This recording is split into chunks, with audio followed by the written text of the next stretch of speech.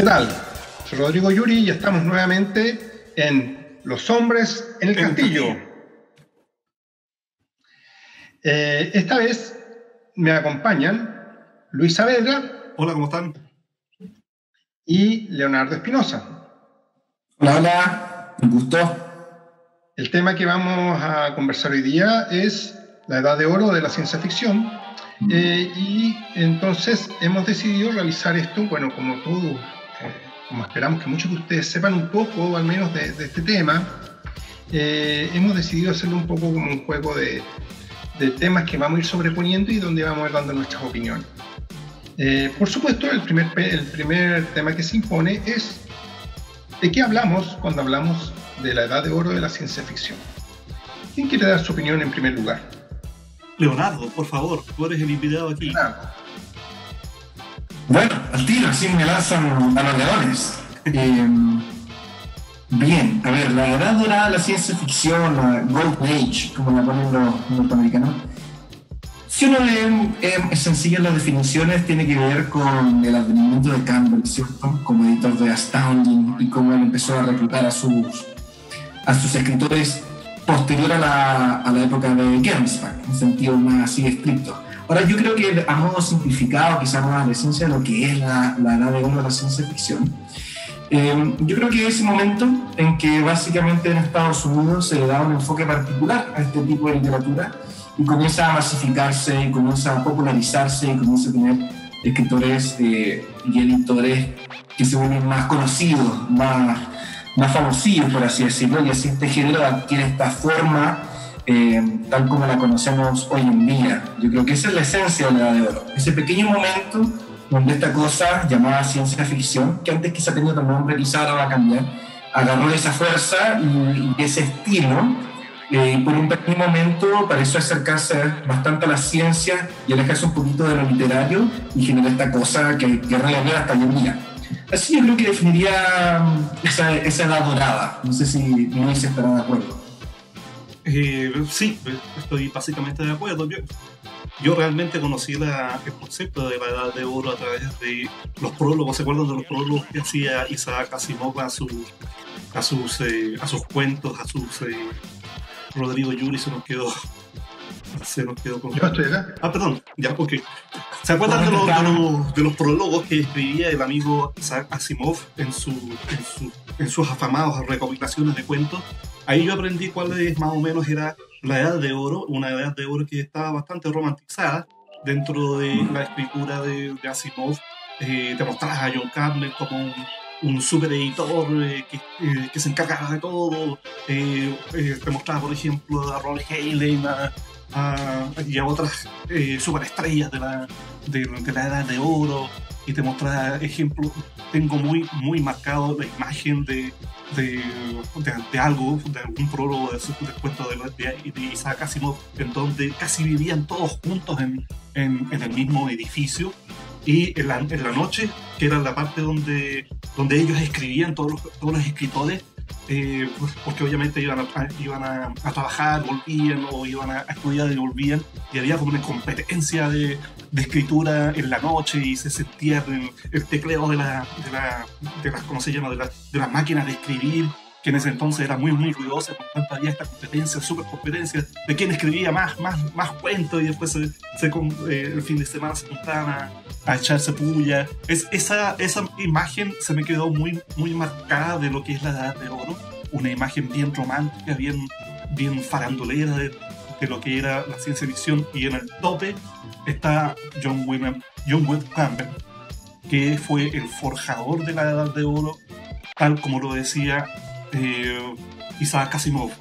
Ahora, eh, ha habido todo una... Ya hablaremos de Campbell, ¿eh? Ya hablaremos de ah, Campbell. Ya, hablaremos de Campbell, pero eso más o menos lo que recuerdo de la ciencia ficción eh, y de la, de la edad de oro de la ciencia ficción, eh, que duró más o menos de 1939 a 1946 o 47. Eh, yo creo que básicamente no se había dado una revolución en la ciencia ficción desde el mismo momento en que estamos hablando solamente de ciencia ficción norteamericana, no estamos hablando de otros países. Claro, sí. Eh, asumimos ese, ese Claro, eh, fue la primera revolución dentro de la ciencia ficción ah, de la mano de eh, John Wayne Campbell. Hay un, muy buen artículo de Eric Raymond, donde dice Eric Raymond eh, es un es un, tipo muy, muy preclaro que estableció cinco grandes revoluciones dentro de la ciencia ficción, de las cuales la primera solamente le, le dedica o, le da un, un, halo de gloria, las otras, las otras eh, cuatro fueron completamente desechables, pero fue la primera y fue la, como la más querida, la más recordada, la, más glorificada y la que históricamente eh, todos nosotros recordamos porque nosotros crecimos eh, por lo menos mi generación, eh, con, con, Rodrigo, quizás la, la, tuya, Leonardo, leyendo ese tipo de ciencia ficción, la, ciencia ficción que se, que se, hizo en los años 40 y 50 más o menos. Eh, Rodrigo, te doy el paso. Ya, mira, yo creo que la, la edad de oro de la ciencia ficción norteamericana hay que entenderla dentro de un contexto histórico particular. Se ha dicho muchas veces que la, ciencia ficción más utópica, o más, más positiva, no sé cómo llamarla, eh, viene de la mano de periodos oscuros en la historia y viceversa. Parece que cuando nos, nos está yendo más o menos bien empezamos a pensar en distopía. La, la, edad, la de oro claramente tiene un espíritu utópico eh, y, un, espíritu más bien de, creer en, de, creer en el futuro y de que el futuro nos va a traer en general cosas buenas. Eh, y, claro, eso lo entendemos a la luz de que se desarrolla durante la Segunda Guerra Mundial. Eh, y no es, no es, menor, muchos de los actores van a estar involucrados en la guerra de una u otra manera. Y, eh, y yo creo que esa, ese, ese sentimiento impregna mucho de la oro. Incluso hasta, hasta matices hasta patriótico. ¿ya? Eh, y finalmente, como Estados Unidos va a ganar la guerra o los aliados van a ganar la guerra, eso termina por rematar un, sentimiento extremadamente, ¿cómo llamarlo? Eh, exaltado, eh, muy, muy convencidos de que el futuro se viene bueno. Ya, menos optimista. Algo que mencionó Luis y que quisiera darle una segunda vuelta antes de pasar al, siguiente tema es cómo fue la aproximación personal, ya yendo a la anécdota personal, yo diría, de cada uno de ustedes hacia la edad de oro. Luis, algo adelante, pero podría terminar redondeando. Y, y, Leo, ¿cómo, ¿cómo, tú llegas a la edad de oro? ¿Cómo te enfrentas a ella quizás desde, desde otra... ¿Fue lo primero que leíste o lo leíste después? Yo eh, voy a responder, la había dicho Luis, pero voy a tomarme el... Leo, Leo, perdón. Quiero agregar, quiero agregar a lo que hablaba Luis, este como de la de estas ideas visuales que a veces uno se hace en, este, en estos romanticismos de ideales. Yo tengo también muy, muy esta imagen dorada de oro, siempre me imagino, lo veo muy centrado en Campbell Asimov y siempre tengo esta imagen como gringa neoyorquina de la costa este, como del Estados Unidos, industrial altamente funcionante. Eh, y de ahí, por supuesto, se van enganchando otros autores de la época, pero lo tengo muy asociado a lo que decía Luis, como Nueva York, edificios, escritores escribimos sin parar. Eh, pero claro, así que sumarle otros frentes, de, ya saben que me gusta siempre mantener el frente californiano de esa época, pero por ahora lo vamos a mantener ahí en, en, paréntesis. Pero estoy de acuerdo con lo que hizo Luis.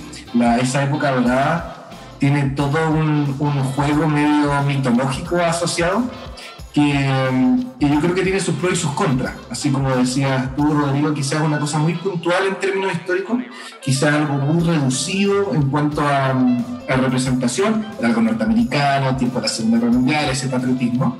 Y se le pueden ver esos contras, pero tiene ese pro de que igual tuvo ese rol de ser súper masificado, que a la vez tiene que ver con que Estados Unidos se estaba convirtiendo en esta super mega colosal potencia con capacidad de expandir su, su cultura.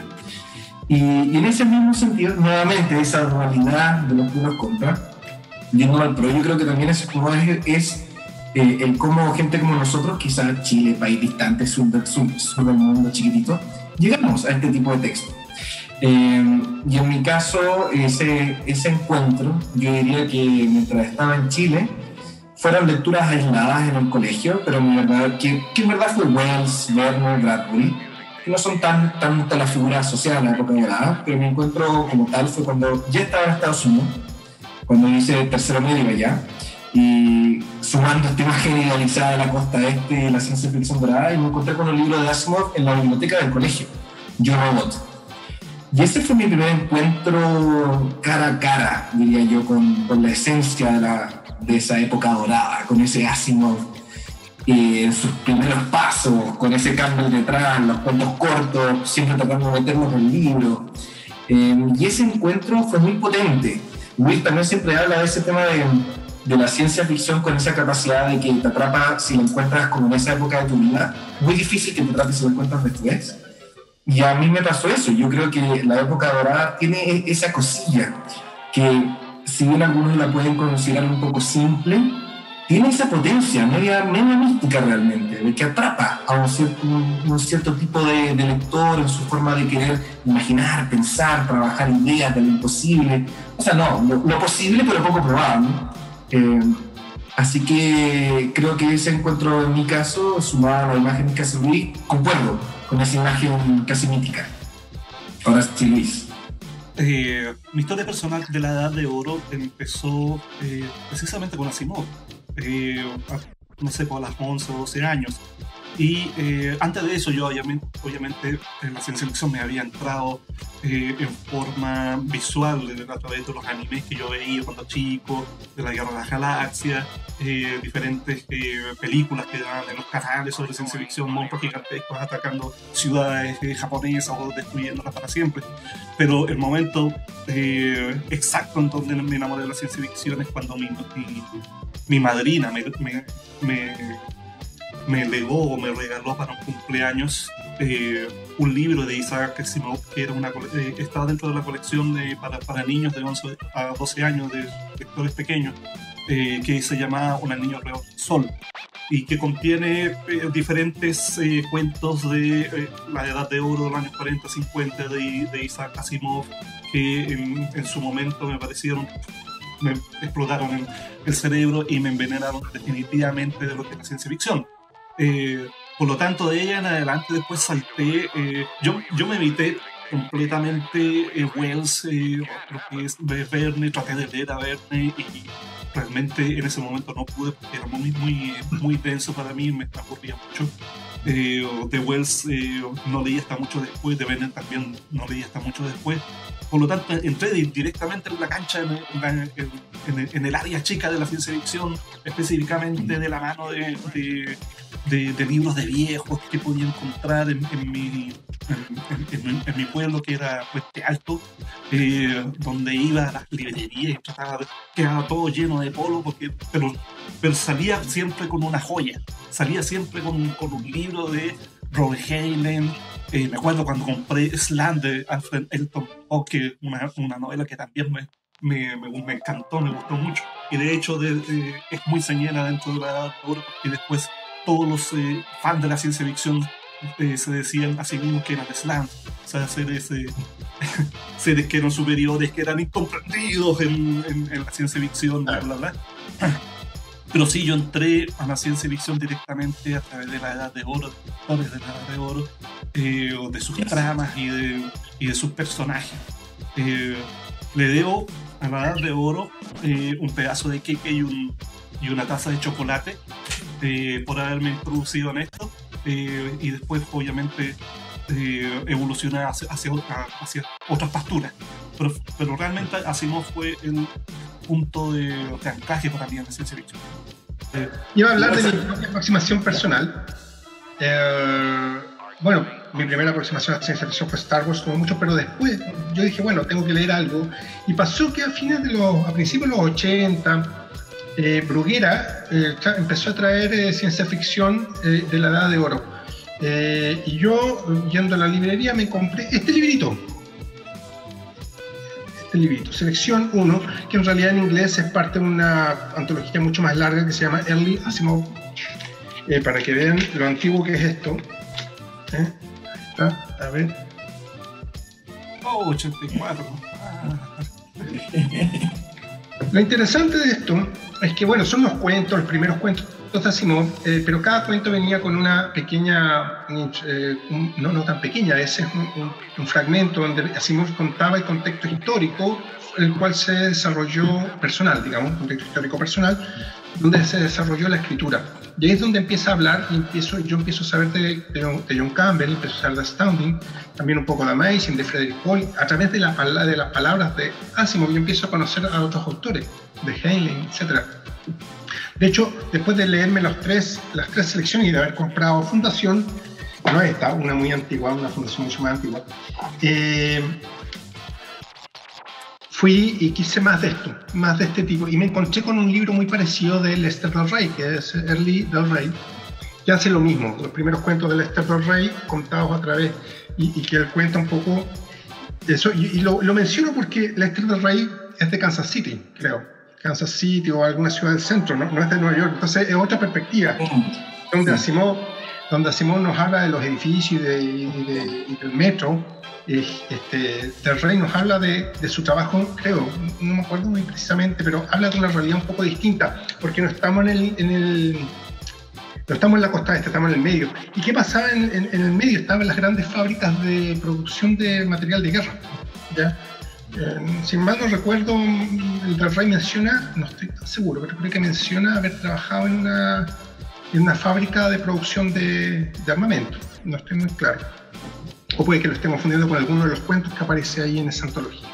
Como sea, eh, esa fue mi y de ahí me fui, bueno, casi, casi todo lo primero que leí fue Edad de Oro, porque además que estaba la, biblioteca de mi, de mi, abuela y de mi tía, que contenía montones de volúmenes de Nebulae, y, casi inconscientemente lo que hice fue buscar eh, los, los, autores que Asimov mencionaba, por lo tanto lo primero casi todo que leí fue, fue Edad de Oro.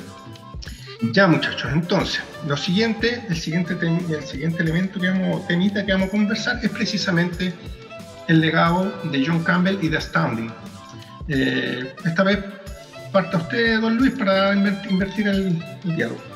Bien, eh, como ya les había dicho, yo aprendí que John Wood Campbell había forjado la edad de oro de la ciencia ficción norteamericana cuando tomó eh, la revista Astounding, me parece, en 1939, eh, se, se, hizo editor en jefe, eh, a través de Asimov. Asimov tenía una, una estrecha relación con, con, John Wood Campbell y le pasaba los, los textos y Wood Campbell era muy, muy posesivo con, con, con, sus, con sus autores y con, su, y con las tramas. Él decía, bueno, la, la, ciencia ficción ha pasado por un, por un por un periodo en donde solamente se eh, evidenció el sentido de, la maravilla, dejando de lado eh, muchas veces lo que es el aspecto científico, la credibilidad, y también dejando un poco, un poco más de lado lo que es la caracterización y la drama.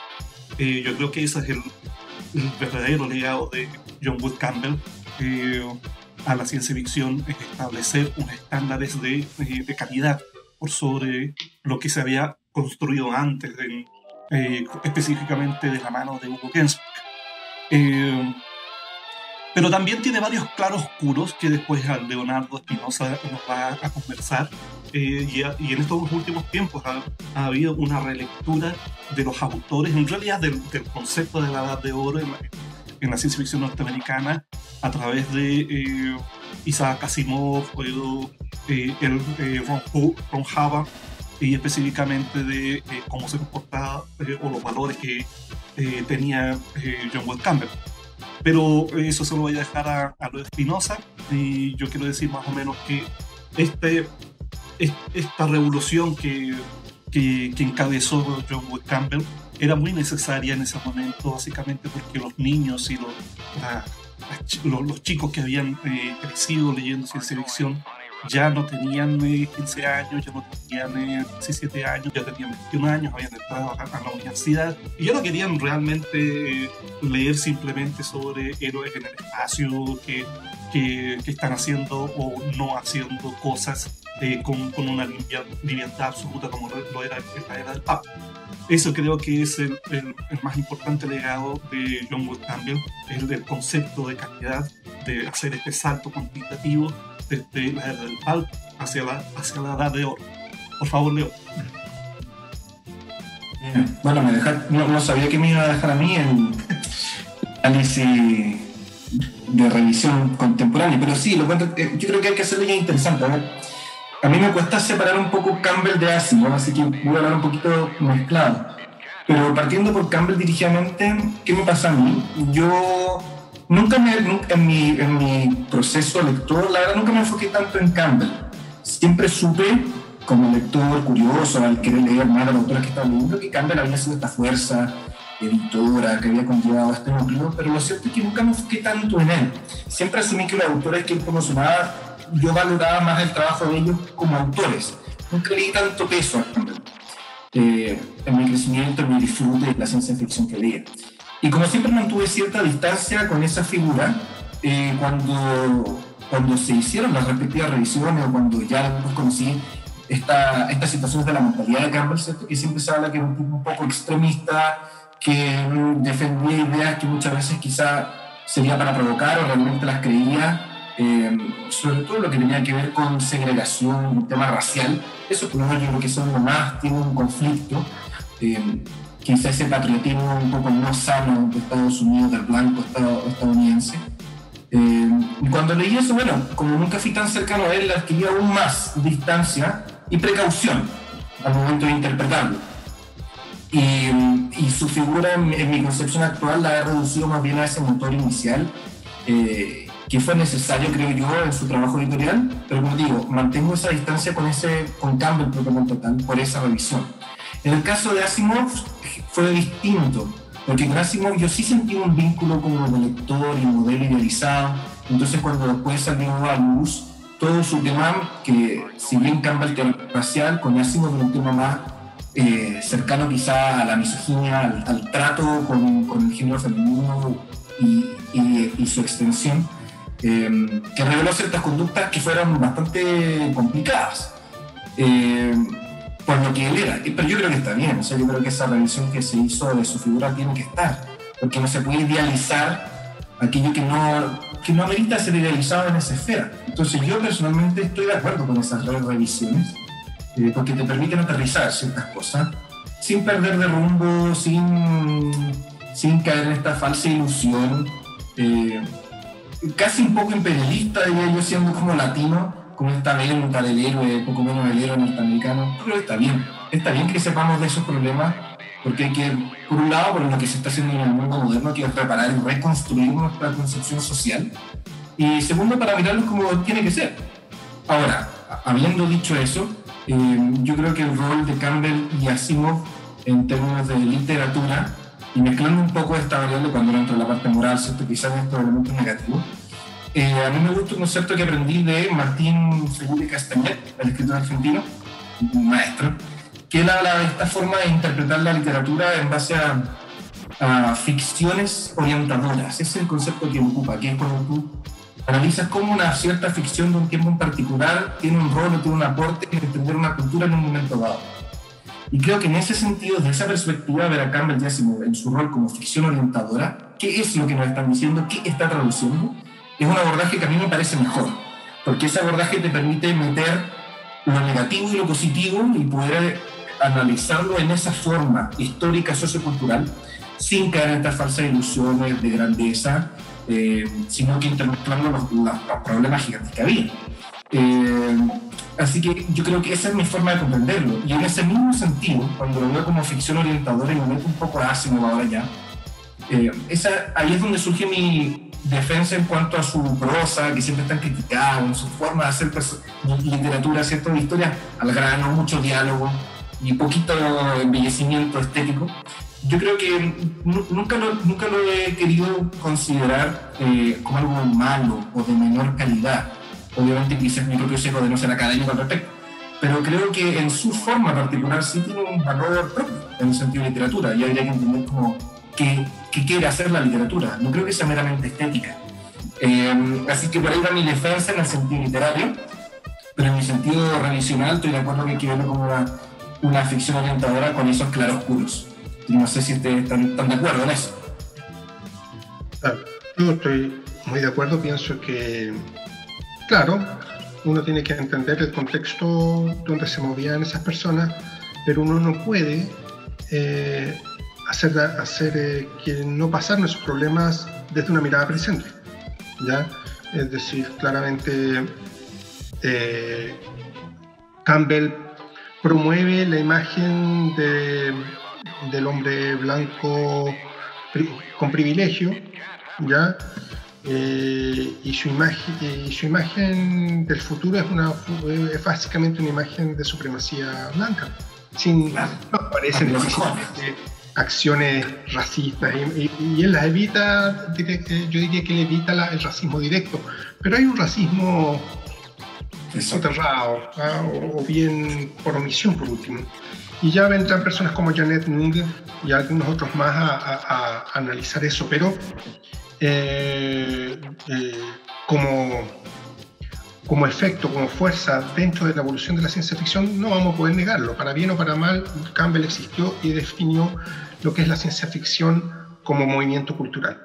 Y ahí yo quiero detenerme un poco, porque eh, un poco Luis habló, o tú hablaste de lo que fue, sobre lo que es la, revolución que representa Campbell. Yo quiero ahondar un poco más en ese concepto, porque cuando Gernsback eh, funda Amazing, Gernsback funda Amazing desde una perspectiva donde él presenta la ciencia ficción como un mecanismo mediante el cual eh, nosotros, eh, se educa a la gente en ciencia.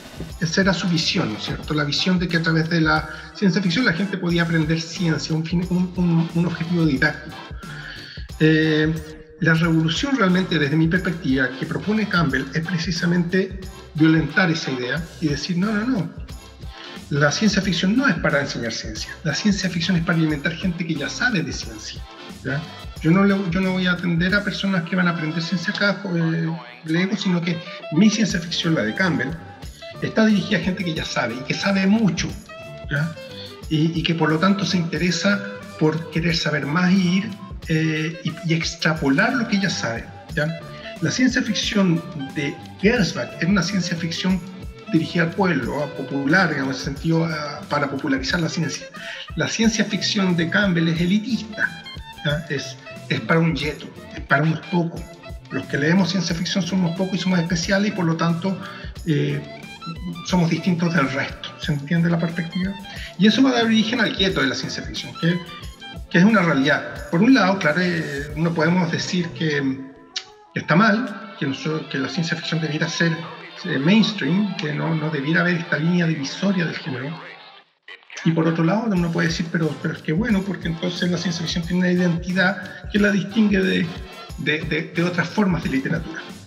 Si es bueno, si es malo, es difícil decirlo, pero es parte, de, y, yo creo que sin Campbell no estaríamos hablando de la historia de la ciencia ficción, estaríamos hablando de autores de ciencia ficción, sino que estaríamos hablando de la historia de la literatura, estaríamos hablando de autores ¿ya? que escriben con algún ánimo futurista.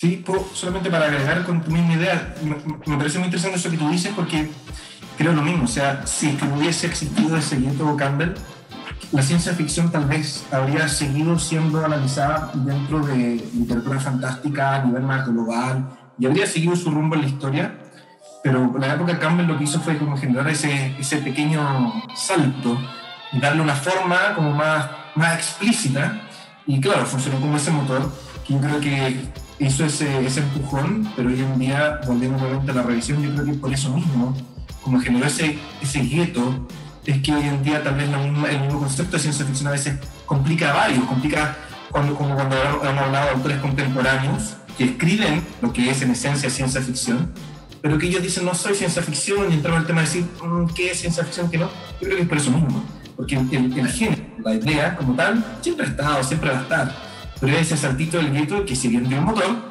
hoy en día como se ha expandido más, empieza a ramificarse, empieza a adquirir esta nueva forma que... Ahí tenemos dos posibilidades. Tenemos la posibilidad de simplemente escribir ciencia ficción diciendo que es literatura general, que va a ser lo que va a hacer Ichiguro, lo que va a hacer eh, eh académico es lo que después le pongan el nombre o la historia misma. Claro. O lo otro es seguir escribiendo ciencia ficción y pretender eh, una, una, evolución del concepto hacia ficción especulativa, como es lo que proponía Judith Merrill o quizás los círculos de soft science fiction.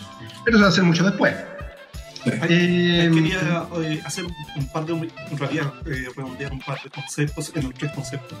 Eh, hacer un paralelo entre lo que fue Hugo Gensbach y también con lo que también representó John Campbell, que fueron dos visiones muy fijas de lo que significa la ciencia ficción. Eh, recordemos que Hugo Gensman, como tú bien decías, Rodrigo, eh, la ciencia ficción era simplemente un método, un transporte para que la ciencia o la educación sobre la ciencia llegara a, a, la persona común y corriente de la calle de, todos los días. Eh, para John Wood Campbell era más una, una forma de ficción y eh, también eh, colocarle un poco más de sentimiento o de, sofisticación a, la prosa. Pero sin embargo los dos, los dos terminaron en, la, en el mismo punto. Se, se volvieron obsoletos. Se volvieron eh, tanto Keynesback en los años 50 eh, ya eh, todavía insistía en hacer este tipo de, de, publicaciones, de palpes, que, que, ya nadie los compraba, nadie los estaba leyendo, solamente eh, los, los, nostálgicos de los años 20. y también le pasó lo mismo a Campbell. Ya en los, en los 60, Campbell murió en 1971, me parece. pero ya en los 60 todavía seguía insistiendo en crear este tipo de ficción que, que, venía de los 40, los 50, ese, ese, tipo, ese tipo de... Pero ahí, recuerda que Campbell se va a ver muy influenciado por estas ideas medias místicas. Esa fue la conciencia. Campbell después se formó. Va a cambiar, ¿no? Sí, va a cambiar su. Sí, para, para, para, allá. los años 60. Para allá una obra más, la segunda. Para, para allá iba básicamente ambos, eh, tanto Keynes como Campbell, son, eh, sus personalidades son bien excéntricas.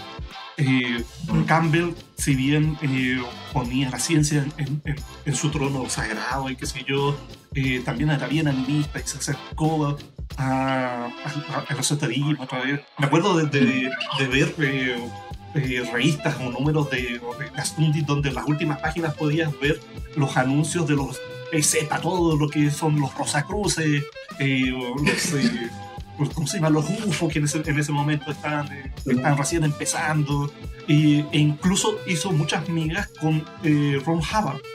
Ron Hubbard era un, tipo que era un estafador y se inventó y se sacó del. pero Mira que nos estamos echando la cientología entera encima, hombre. que, que, vengan, que vengan. Pero realmente eh, Hubbard se aprovechó precisamente de, Campbell por, por, este lado, este lado eh, estadista donde tenía completa, estaba completamente abierto su corazón Campbell y se introdujo y pudo, pudo eh, construir la dianética en, ese, momento y después la cientología en base a la publicidad que le podía dar la revistas ciencia ficción, específicamente del grupo editorial donde Campbell era, era editor. Eh, después de que Harvard tenía todo el, tinglado ordenado y él cortó definitivamente muy violentamente con Campbell y su señora, que eran sus grandes amigos, y nunca más lo volvió a, ver.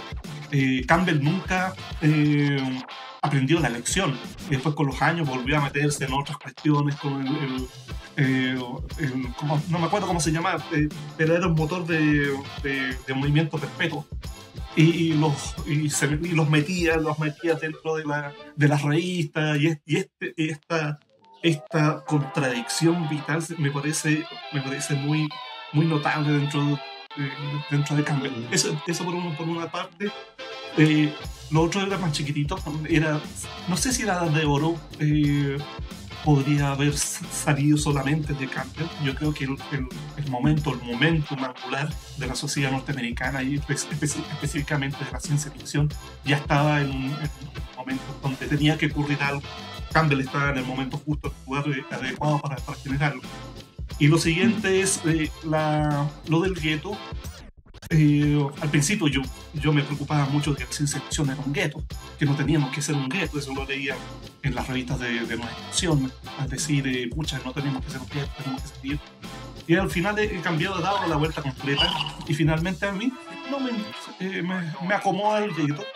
Eh, obviamente asumiendo las consecuencias que, que ellos debían. Yo sé básicamente no me va a leer mil millones de, personas, eh, simplemente van a leer 15, 15 personas, que una de las cuales va a ser Leonardo. Eh, pero realmente hay que asumir que la ciencia ficción es una literatura que va dedicada a personas que eh, les gusta el fantástico y el fantástico racional. No van a ser todas las personas de todo el universo de, de, personas que leen en este país, en todo el mundo, solamente un porcentaje va a leer ciencia ficción. Y eso, punto, eso, eso lo asumo y es así y realmente, ok, venga. Rodrigo. cortito, quiero meterme de nuevo, solo, solamente para Luis, que no, solo quiero decir que en verdad en algún momento también pasé por la misma crisis existencial de, de esa aceptación. Y al final más o menos me pasó algo similar, por un tema que quizás te pasa, no sé, eh, que uno como que se siente un poco más más como coherente con lo que uno está escribiendo, si se mantiene dentro de ese club, por así decirlo, obvio que uno tiene ganas de que el club mismo, este mini gueto, no sé si lo crezca, se amplíe. Pero a mí me pasa que, claro, cuando uno sale a la intemperie del mundo literario, grande y todo, se siente extraño. Me imagino que lo mismo que le debe pasar a los autores de la. Eh, hoy en día, cuando dicen, es que este libro de ciencia ficción, y ellos a lo mejor son de esta intemperie y dicen, chuta, me está persiguiendo el club y no quiere o me imagino que es lo que le pasó a, a Bradbury en años de la Edad Dorada, que Bradbury, claro, hizo su ciencia ficción, pero nunca estuvo muy, no estaba interesado con, tanto con Asimov, ni Clark, ni con los neoyorquinos y ese lado. Y él hacía sus cosas, y cuando uno lo escucha en sus discursos, uno, uno, uno capta que Bradbury cachaba eso, él entendía esta cosa, aprovechaba ese gueto, se afirmaba, pero él sabía que él era un, un outcast, por así decirlo. Y yo creo que hoy en día pasa lo mismo. Y estoy de acuerdo contigo, Luis, o sea, yo también al final creo que que hay que encontrarle ese, ese toque al, al, al, grupo y bueno, trabajar esa manera del crecimiento y salir y entrar, pero eso quería agregar a fortalecer esa sensación, la emoción. Sí, sí.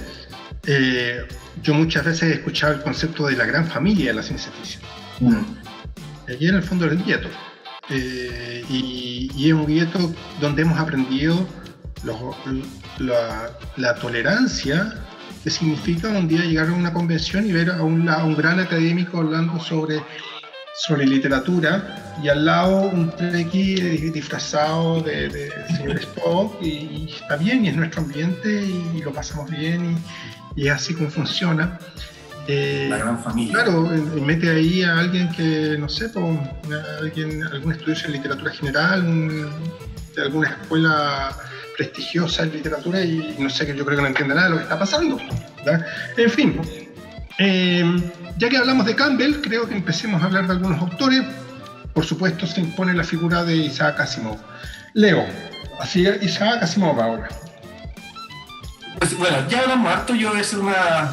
Voy a quedarme la parte literaria, hicimos la revisión. Solo quiero decir una muy cortita. Eh, siempre me escucha lo que ya hemos dicho, la crítica, que su prosa sería fome, áspera, puro una conversación mental y nada mucho más. De hecho, ayer estaba leyendo algunas cosas y por si encontraba entretenido para comentar también un día, y salió este comentario de que en algún momento los académicos dijeron en la prosa de Asimov, en los libros de Asimov, no hay nada que sacar. Es todo tan explícito y claro que ¿qué más vamos a analizar? en algún momento mismo Asimov dijo, sí, que tanto, así como, sí, en momento que claro el punto y no me interesa que ustedes me busquen simbolismo. Pero, que es lo que, distinto que quiero hacer yo, yo no creo que eso sea tan real, yo creo que sea una cosa que se fue forjando. Sí, bajo parámetros de, de, de la teoría, de la escritura creativa, sí podemos desmembrar Asimov. Pero, pero de ahí a decir que en Asimov no se pueden sacar análisis, capas de simbolismo, no estoy de acuerdo yo, por ejemplo, me acuerdo en algún momento, años atrás, cuando terminé el libro que dije, me di, siempre cuando leo un libro que me gusta, después me di un espacio de reflexionar y ver qué puedo sacar. Y con Yo Robot yo sentí que pude sacar altos elementos que quizás no, nunca habría eh, expresado de manera directa, explícita, pero que siento que sí se puede entrever y sacar. Por ejemplo, vamos a decir algo.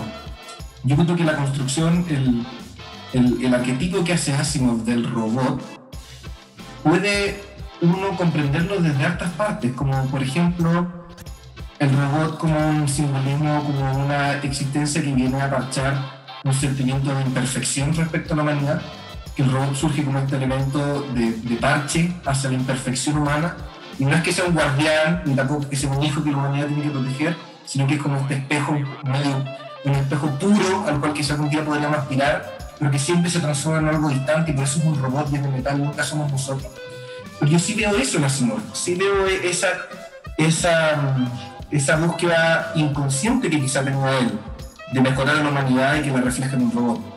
Ocupo eso solamente a modo pequeño de decir, yo creo que en Asimov sí se pueden destacar más cosas. Ahora, hoy en día Asimov creo que ya lo leímos todo, ya se leyó y creo que vale más la pena gastar esfuerzo en analizar autores nuevos, creo yo. Pero solo quería comentar eso, a modo de defensa, decir, yo no creo en esa leyenda que hay de que Asimov es territorio árido y que se lee y ya está. Eso es lo que quiero decir de Asimov. A ver qué dicen. Eh, bueno, yo tengo una historia larga con Asimov, eh, básicamente entre el amor y el odio. Eh, primero fue el amor, eh, porque fue mi primer amor.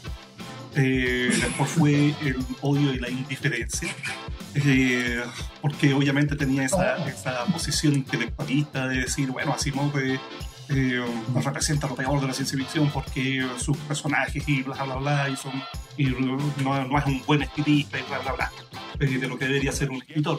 Pero sin embargo, en los últimos años me he ido dando vuelta porque he pensado en los momentos buenos que me dio Asimov en los, en los, momentos agradables. Quizás si lo volviera a leer ahora, por ejemplo, en la eh, Fundación, encontraría miles de, de problemas estilísticos, de personajes, bla, bla, bla. Pero en, en, el momento en que yo leí Fundación, que fue a los 13, 14 años, fue un gran, una gran lectura. O sea, en principio, y después lo supe, eh, basar una, una saga gigantesca en la caída del Imperio Romano, eh, ya te habla de una, una, una, cosa enorme, una cosa eh, épica, una cosa casi de, de, mito y de leyenda.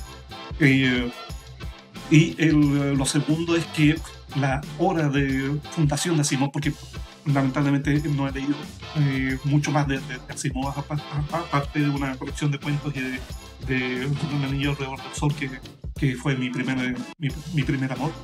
Eh, fundación está basada más en la interacción de los, de, los personajes, en cómo se mueven, más que en, en, batallas gigantescas, más, pero igualmente tú sientes la dimensión del tiempo y del espacio en, lo que es eh, eh, Fundación Imperio, Segunda Fundación, Fundación, y eso realmente en su momento me voló, me voló la mente. Y yo estoy muy, muy feliz de que ahora se vaya a hacer una, una serie de TV al respecto y que sí. precisamente espero que no la vayan a cagar. Eh, y yo, no, yo tengo, tengo, una imagen mental de lo que debería ser eh, Fundación en, en, en, en traspasada o, o trasladada a, a, un, a, un, show de TV, es la grandiosidad de la escala de las cosas. Eh, específicamente, y termino con, con, con, con Fundación, es el hecho de que aparezca un ser que es el mulo, que realmente es uno de los grandes, grandes personajes de toda la edad de oro y casa de la ciencia ficción. El mulo es un gran personaje que merece y que va a destruirlo todo porque tiene todos los, eh, los frentes cubiertos, tiene, es, un, es un mutante que se salió de la psicohistoria, por lo tanto, tiene carta libre para hacer todo lo que quiere. Y yo, cuando, cuando lo empecé a leer, dije: Ah, aquí se, se acaba la fundación, aquí eh, va a venir el imperio de, de, de nuestro de, del mulo y aquí se acaba todo lo que es lo que es escrito así no pero finalmente le, le ponen eh, no lo voy a contar pero obviamente eh, sabemos todo lo que la, la, leímos sabemos cómo termina. Eh, me voy a referir a dos consejos que eh, Asimov dio en su momento y que todavía me resuenan. Eh, el primero de ellos eh, lo leí, me parece que en, en, precisamente en Fundación, en donde Harry Seldon dice que la violencia es el último recurso del incompetente. Y eso siempre me ha quedado eh, como una a fuego en mi mente, a fuego en, en, en el uso de, de, de, de, la argumentación y de la, de, la charla para la resolución de conflictos. Eh, sea cierto o no, eh, de alguna manera eh, guío, guío todo, todo, toda mi vida la he guiado en, en base a ese precepto. Y lo otro es, eh, en, en, una conversación, en un, en, en un, artículo decía que él prefería ser, ser, un buen artesano de las palabras que un escritor. Y realmente eh, a mí me resuena por el hecho de que yo prefiero ser un, buen artesano, contar una buena historia, con eh, personajes correctos, con, con tramas correctas, eh, pero que finalmente la historia resuena en, en, la gente antes que ser un escritor que eh, eh, escriba muy bonito, que escriba, pero sea, no sé, pues muy experimental y no, te, no le llegue a la, a la gente, y no, no, en final, que no entienda nada de lo que está escribiendo. Yo prefiero ser un buen artesano de la palabra y un buen artesano de las historias antes que un escritor. Rodrigo.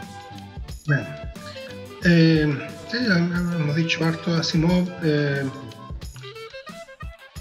eh, Asimov le tocó, ¿no es cierto?, la juventud durante la Segunda Guerra Mundial de de Oro le tocó ayudar en la guerra, pero desde atrás, ¿no es cierto? Desde, desde, Estados Unidos no le tocó ir al frente. Eh, ya, menciona, ya se mencionó el tema de revisión, ¿no es cierto?, en cuanto a su, a su conducta, eh, diríamos, sexual, aunque, no, aunque uno ya, claro, ¿por qué, resuena? Porque, claro, nosotros nos damos cuenta al leer Asimov su, su dificultad para afrontar la construcción de personajes femeninos y de las relaciones eh, heterosexuales, ni que hablar de relaciones homosexuales, que no, no, va a haber nunca jamás, en el, por lo menos en el primer Asimov, quizás quizás ya pasado los años 70, quizás. Em, ya, así que no voy, a, no voy a explayarme mucho más en él.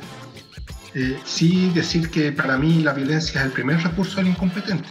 El incompetente lo primero que hace es hacer la violencia, no, para seguir y continuar con esto. Em, cada uno puede, entonces, la invitación es a hablar sobre algún aspecto de, las, de, la edad de oro que, que más les interese abordar.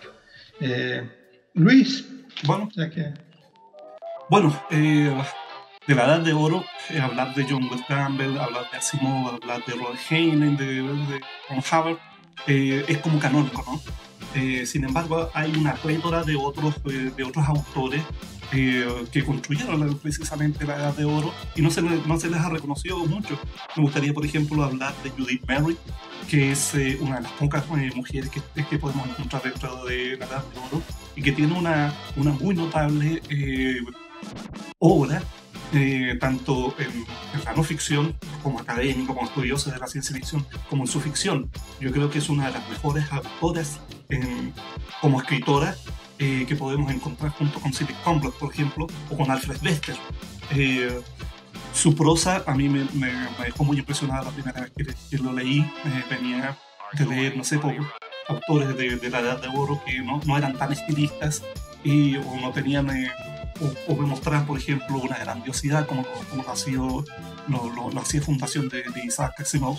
Me encuentro con, con, con una obra eh, muy sutil, muy bien escrita, de muy buenos personajes, eh, con una sensibilidad que yo no había conocido desde la ciencia ficción, sino en el momento en que yo, yo yo leí eh, a Judith Merry, una, una, nueva forma de escribir, era una nueva que me presentó una nueva forma de escribir, una forma más madura de escribir, eh, casi, eh, casi desde, desde, el punto de vista de, de, la corriente principal. y por lo tanto, quería sacar a juego que Judith Merry es una escritora dentro, de, del grupo de, la Edad de Oro. A ver, vea, la, la Edad de Oro uno, la historia oficial de la Edad de Oro es la historia de Campbell, pero hay una historia extraoficial, ¿no es cierto? La otra Edad de Oro. Son dos, en realidad otras dos. Tenemos la Edad de Oro que, que transcurría a la sombra de Amazing Stories y Thrilling Wonder Stories, y donde aparecen un montón de escritores asociados a la, más hacia, hacia, hacia la ufología y hacia cosas más esotéricas. Eh, yo no voy a abordar ese tema, si lo quiero abordar. Pero había otro, otro, otro grupo de escritores eh, también muy comprometidos con, eh, con, la ciencia ficción, pero que, y que, va, y que la historia va a reconocer como los futurianos. ¿Ya? Y es cuando eh, claramente la política toca la puerta del género. ¿ya? los futurianos, si bien no todos, hay unos poquitos escritores conservadores, la mayoría eran escritores más liberales o de izquierda, incluso algunos eran francamente comunistas. Frederick Paul, pero además estaba Judith Merrill. Claro. La cosa es que este, este grupo eh, escribía ciencia ficción y publicaba en revistas, pero claramente empezó a tener cierta dificultad para publicar en los órganos, en, revistas como, como Standing. No totalmente, pero sí alguna dificultad. Eh, y yo creo que el punto clave fue la primera convención mundial. Eh, ¿Me escuchan? bien? Sí. ¿Sí? Eh, la primera convención mundial, que fue el 89, si no me equivoco, donde efectivamente los organizadores de esa primera WorldCon prohibieron el acceso al futuriano, precisamente porque prodigaban un discurso político distinto de quienes eran los organizadores de esa convención. Eh, es la acta de la gran exclusión, como le llaman. Eh, los futurianos, eh, desde el principio y, y, con el tiempo con mayor, con mayor énfasis, empezaron a, promover una ciencia ficción más orientada, por un lado, hacia elementos más sociales, quizá un poco desde la línea de H.G. Wells, pero también eh, a promover una mayor calidad estilística y una mayor calidad narrativa. Eh, de ahí yo creo que viene este, o van a ser los antecedentes que van a, que van a desde ese origen viene todo este discurso del anti-yeto, ¿no es cierto?, de salirse del yeto, yo creo que parte por ahí. Eh, los futurianos van a, eh, van a levantar sus propias revistas, ¿no es cierto? Frederick Paul se va a convertir, pues, es un gran escritor, pero además se va a convertir en, en editor. Eh, muy pronto va a asociarse otro nombre que es Damon Knight. Y hacia fines de los 40, este grupo, si bien oficialmente se disuelve, sus elementos van a continuar haciendo fuerte activismo dentro de la ciencia ficción que va a, a cristalizar luego en la fundación de la Science Fiction Writers of America, la SFWA y también en el taller Clarion. Eh, así que su influencia eh, como una forma alternativa y, que luego va a pasar a ser predominante en la ciencia ficción es, extremadamente relevante en la historia del mundo. Don Luis, don Leonardo, ¿qué, qué, otro aspecto quiere usted mencionar? Mm, a ver, honor al tiempo y para hacer quizás algo distinto, yo, bueno, yo tenía mi, hice mi cosita, mi apunte, pero quiero comentar, eh, aprovechando mi lista, eh, los, mayores como eh, eh, textos regalones a los que más cariño les tengo, por si algún día alguien también que esté escuchando esto quiera compartirlo, como ya lo hemos dicho, hemos entrado en la historia de la parte profunda, pero también, como decía Luis, en la época dorada a la gran mayoría nos tocó la primera aproximación cuando no, no analizábamos estas cosas, simplemente recibíamos algo, lo leíamos y nos sorprendíamos Así que aprovecho ahora de mencionar otros autores. Mi favorito es que ustedes mismos enganchen con alguno para comentar, pero no quiero decir. Asimov ya lo mencionamos mucho, así que quiero decir de Heinlein. Heinlein, nunca he sabido bien cómo se pronuncia. Pero a ver, mis tres favoritos. Todos ustedes zombies, maravilloso. Una joya de cierre, de relato enfocado que te destruye la cabeza. Eh, Green Hills of Earth, en español Las Verdes Colinas de la Tierra. Un relato que me parece esa primera semilla de la ciencia ficción romántica, como de, emoción. Genial. Y tercero de él, uno menos conocido, uno que lo leí en inglés, se llamaba And He Built a Crooked House, que es un relato que publicó en una revista matemática, donde él, el protagonista era un arquitecto y construyeron una casa en base al hipercubo. Una cosa loquísima. Eso me gusta de Jaime. Así, y la parte que no me gusta, solo mencionar la novela La luna es una cruel amante, encontré sumamente aburrida. La idea era chora, pero fue una lectura muy densa. Clark, quiero mencionar a Clark, Arthur C. Clarke, para que mencionar a algún británico también que estaba en ese Destaco el Sentinela, The Sentinel, ¿cierto? Que después daría paso a uno, con esa capacidad de asombro, de dejarte con los pelos parados. Eh, Tránsito de la Tierra, Transit of Earth, lo leí en inglés también eh, me voy un poco a, la parte romántica de Heinlein, tiene una escena final de un astronauta que está como prácticamente viendo su fin y piensa en, Bach, en la música, fascinante. Y los nueve millones de nombres de Dios, que fue la primera vez de un cuento em, de esa época que me hizo pensar, chuta, que hay mucho análisis que se puede hacer, que hay mucho elemento, esto no es tan sencillo de leer. Eso me gusta de él. Eh, y novela de Clark, yo destaco El fin de la infancia, que me encantó cuando la leí también en aquellos tiempos. Eh, y luego, nombres más particulares, de CIMAC, destaco Deserción, un cuento que también, todas estas son mis lecturas cuando era más chico y que quedaron impregnadas en mí. Eh, Deserción, que, que si no me equivoco es parte de Ciudad, de su, de su libro con relato interconectado, aunque se lo leí yo primero así separado. De Sturgeon, yo destaco a Microcosmic God, que también un rato bien choro de imagen del científico y, y, este ideal medio, medio megalomaniático científico aislado. Y por último, bueno, Bradbury, pero Bradbury ya es, una leyenda en sí solo. Para mí, el hombre ilustrado, más que crónicas marcianas, el hombre ilustrado para mí es, es, mi, es mi norte en todo sentido. Eh, y yo creo que eso, para no ser tan latero. Tenía otro notado, pero yo creo que eso, ese es mi, mi globo. Yo sé que si, si ahora lo miro desde presente hacia la infancia, es un nicho reducido, es un gueto, como hemos estado todo este rato, ¿cierto? El hombre blanco americano dando nuestra historia fabulosa pero que igual la rescato por su valor. Hoy en día se hicieron una lista ya cosas nada que ver o son muy distintas, pero al menos esos cuentos que digo fueron lo que fue mi experiencia eh, viviendo en la época dorada.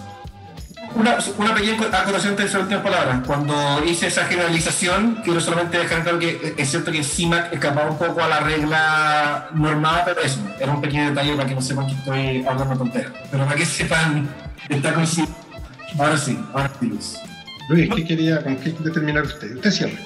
Ya, eh, yo quería eh, llamar la atención, eh, como últimas palabras, sobre la relación que tiene la edad de oro norteamericana con las edades de oro en, la ciencia ficción en Latinoamérica, específicamente en Argentina y en Chile. Específicamente en Chile, básicamente porque eh, Remy que es el este, académico francés, ahí está, eh, indica que la edad de oro de Chile empieza en 1959 con la publicación de Los Santísimos de eh, el mismo Hugo Correa y que llega en 1975 con el advenimiento de la, dictadura. Pero si, eh, si nos fijamos bien, creo que hay una, una relación eh, bastante directa en el sentido de que a, a, Latinoamérica llegaban eh, todas, las, todas las modas o todas las tendencias más o menos 5 o 10 años después y puede que la influencia de, de, revistas como Más Allá en, Argentina y eh, la lectura de, por ejemplo, las colecciones Nebulae que eran de, que empezaron a publicarse en 1950, que si te fijas bien, la mayoría de su material de las, en, las revistas, como la, como la colección que, acabo de decir, eh, son parte de, de, la edad de oro. Y eh, eso influenció a autores como Correa o Armando Menerín eh, para crear sus propias ficciones. Y ya tenemos el, hecho de que en 1959 está la publicación de y en, en, los años 60 también podemos ver una cosa parecida en Argentina. Sí como decía yo como decía yo eh, les agradezco a ambos eh, su presencia en este en este en este programa y también agradecer a los espectadores que lo puedan ver. Ojalá dejen sus comentarios y, y nos sigan en los siguientes capítulos y episodios de eh, Los Hombres en el Castillo y nuestro spin-off La Penúltima Verdad. Hasta la vista. Chao. Chao.